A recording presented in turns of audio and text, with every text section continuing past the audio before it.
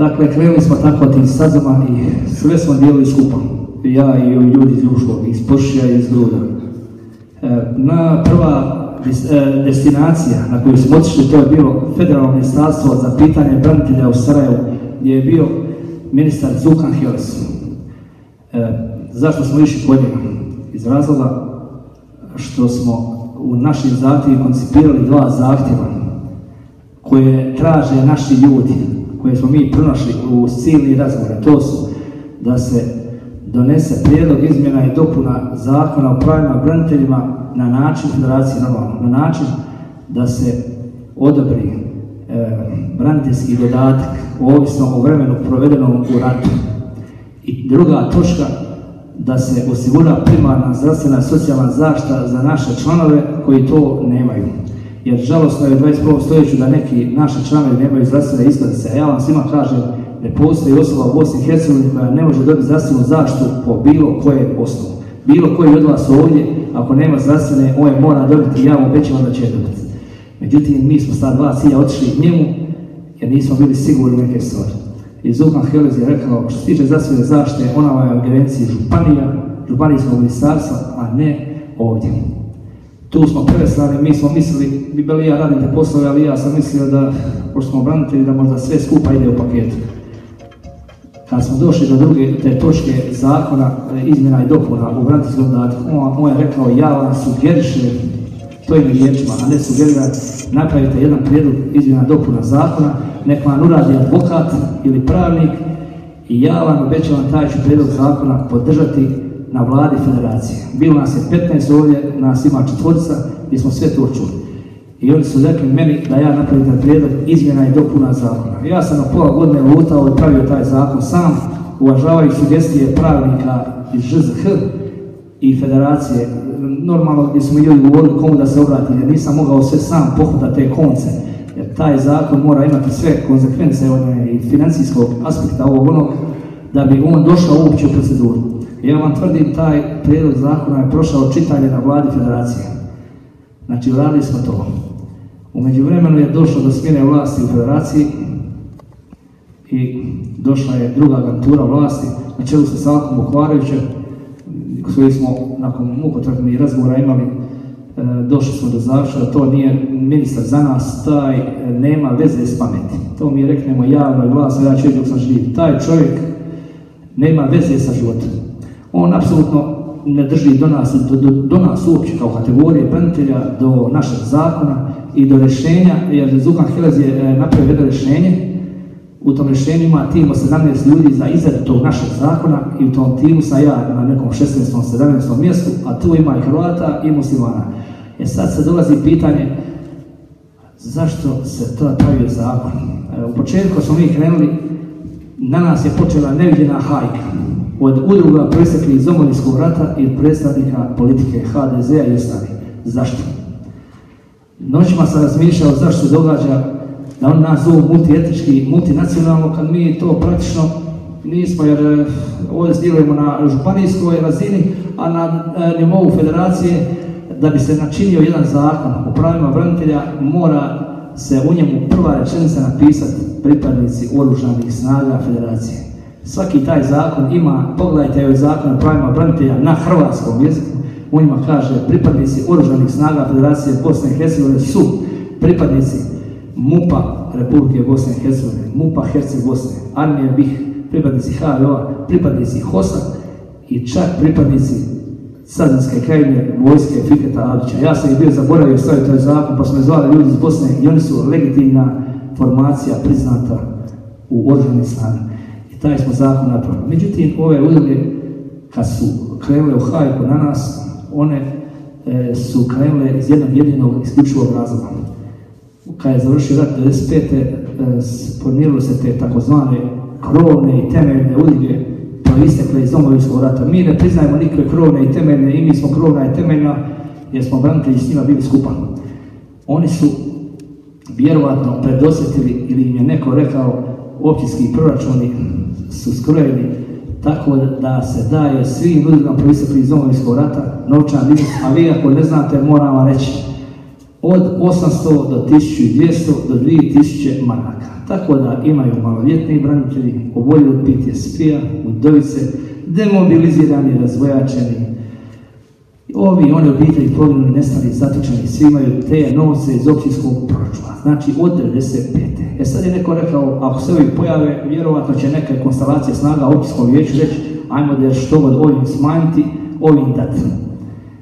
I iako mi nismo lešinari paraziti, jer mi znamo kad se udruge formiraju, da su to većinom uh, lešinari, paraziti koji samo sjede na općinskom proračunu, uzmaju novce, imaju urede tamo u Dumanskoj stranici ili bilo gdje, dani prolaze. Dva čovjeka se smjenjuju, tako da Serafine i vi ostali znate kako se to radi, to vam moram reći, sjede dva, tri čovjeka, oni nami ne mogu dodati vode što tiče naše udruge, ni Ova udruga će stvoriti jedan respekt ko ovo bude. I znači oni su, oni su osjetili da bi možda bila smetnja i pokrenuli su tu hajnu. Iako mi nismo za, za to da, da se nešto daje iz proračuna, morali smo jer putujemo svaki dan. Pa smo se prijavili, e, ja sam dobio sugestije od načelnika Mire Kravića, Topića, predsjednika općinskog tada vijeća, da napravimo amandmane na proračun, mi osobno ili preko vijećnika ne bili uletili u proračun. I ja sam procijenio da je najbolje da e, lobiram kod dva vijećnika HDZ-a i tada HSP dr. Ante Stačević, kod HDZ-a je Maka što kopira, Ma, Marinko Jelić, a HSP dr. Ante Stačević Piže, mali Marko Maršić, ja sam napravio amandmane i mali piže se tom upiskom vijeću založio za nas da uletimo u proračun. HDZ nas je odbio. Prve godine. Ja sam bio i Begić na tom e, rebalansu proračuna. Oni su rekli ovako ovim riječima Miro Krajević, dva čovjeka dođu, sjednu, dogovore se, naprave udrugu i hoće pare. Ja sam digao ruku, tražio riječ, sidio sam sa strane, ali mi to uopće rekao, ne možeš dobiti riječ. Ja sam šutio. Inače bi ja rekao Miri Krajeviću, Miro, nisam mi dva čovjeka, mi smo 500 ljudi u Širokom, a u Županiji 3,5 tisuće. I on nas odbio.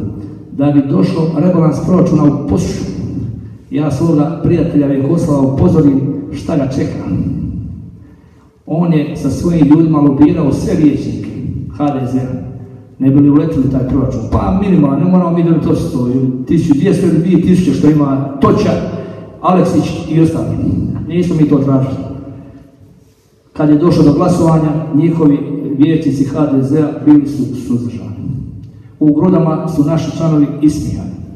U Ljubuškom su naši članovi nisu ušli u proračun, ali eto, naime, sad dobijam informaciju da, je donesena odluka, ali drugog mjeseca nema para, neko je to stopirao. Znači, nije ove godine nismo ušli. E, morate znati, znači, sučin se krpimo, sučin radimo i sučin raspolažemo. E, ono što, što smo radili u širokom brijegu je, ja vam moram osobno reći, e, imali smo x i sastanaka i sa Slavkom Marinom, e, predsjednikom vijeća, branitelja pri HNS, sa Draganom Šovićem, Drago je bio u bolnici, tada nešto imao problema. bili smo sa Slavkom Bukvarevićem, primijetili smo da je retorika vladajućih stranaka u Federaciji i Bosni i Hercegovini ista. Oni nam sugerišu ili sugeriraju da se nekome priklonimo.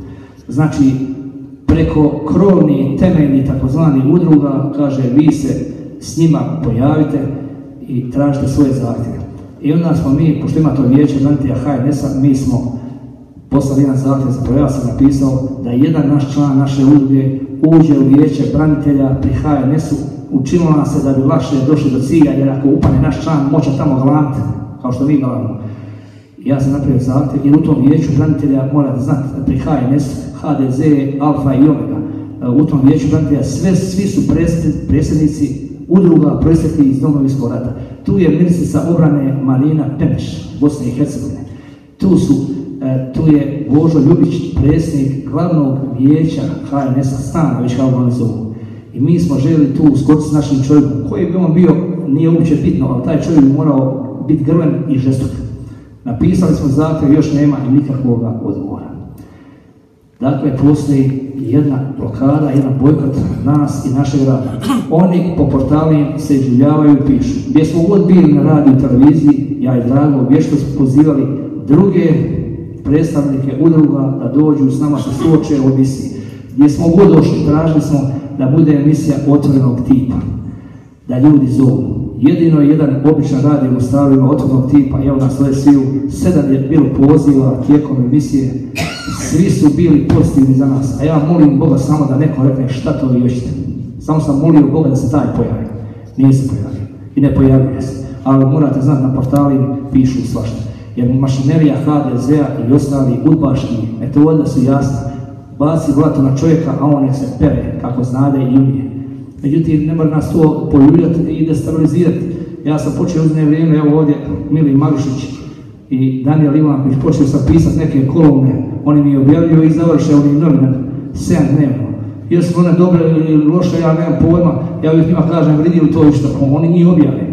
Uglavnom, preko tih kolumni ja pokušavam nešto doprijeti. A sljedeća kolumna će biti o zaboravljenim braniteljima i ko šta radi. Vjerojatno će biti ta. Ono na kraju, to što vam htio reći, što smo mi uradili u širokom brijegu, znači imam odličnu suradnju sa gospodinom Mladenom Pekićem. Imao neko s njim e, mišljenje o njemu ovako i onako, ja vam kažem, ja osobno sam 30 sam napisao zahtjeva na svom kompjuteru besplatno i uputio ljudima za jednokratne novčane pomoći. Jer zanimljivo je koliko ljudi traži jednokratne pomoći. To je žalostno. Čovjek koji može živjeti traži jednokratnu pomoć. To je jedno poniženje čovjeka. I on je, vjerujte mi, svakom komu sam ja pisao, odobrio jednokratnu pomoć. U okviru svojih mogućnosti. Za jedna tri naša člana riješio je zdravstvenu iskaznicu. Ljudi koji nemaju zdravstvene iskaznice, a na rubu a ta zdravstvena se ne može dobiti e, baš redovnim putem. Jer oni su tamo naveli u dopskim pravima branitelja ovo. Ne može dobiti zdravstvenu iskaznicu ako je osoba u radnom odnosu, ako je na birovu, ako ima STR, DO, poljoprivrednu djelatnost, ako je ratni vojni invalid.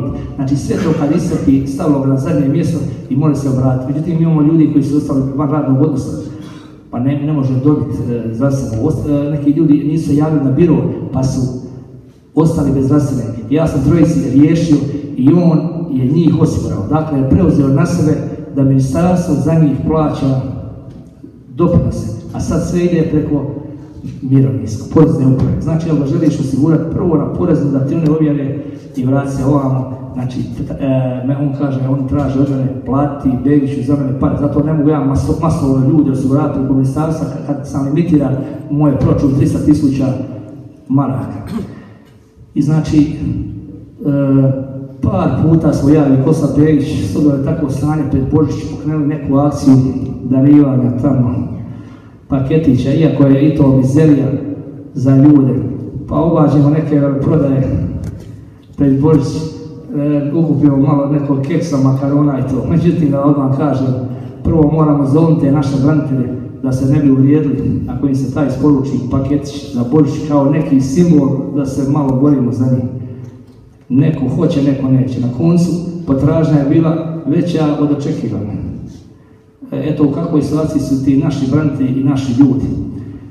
Ali ono što želimo napomenuti na kraju tog izvješća je da smo spremni u svakom trenutku, znači da ljudi reknu nismo zadovoljni s vama, maknite se, neko će drugi to preuzeti. Ali eto, ja moram reći, ja, sam baš ostalo sam registrirao ovu podružnicu.